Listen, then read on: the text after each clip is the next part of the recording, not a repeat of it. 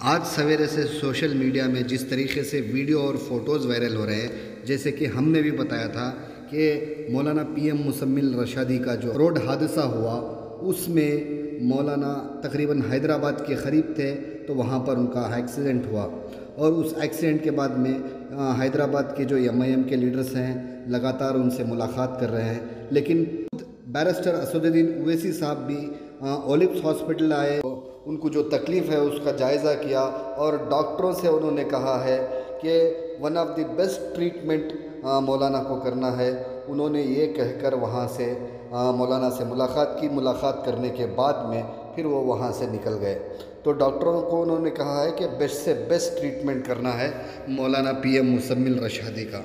तो जैसे कि आप तस्वीरों में देख रहे हैं Asaduddin Owaisi A I M I M party के जो चीफ़ हैं वो पहुँचे थे ओलिव्स हॉस्पिटल मौलाना पीएम मुजम्मिल रशादी को मिलने के लिए।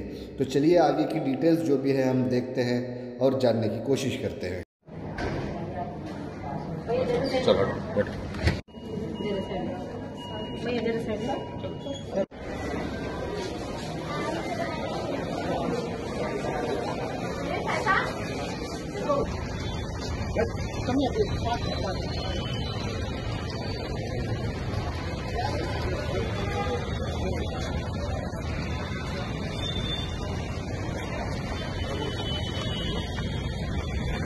Okay.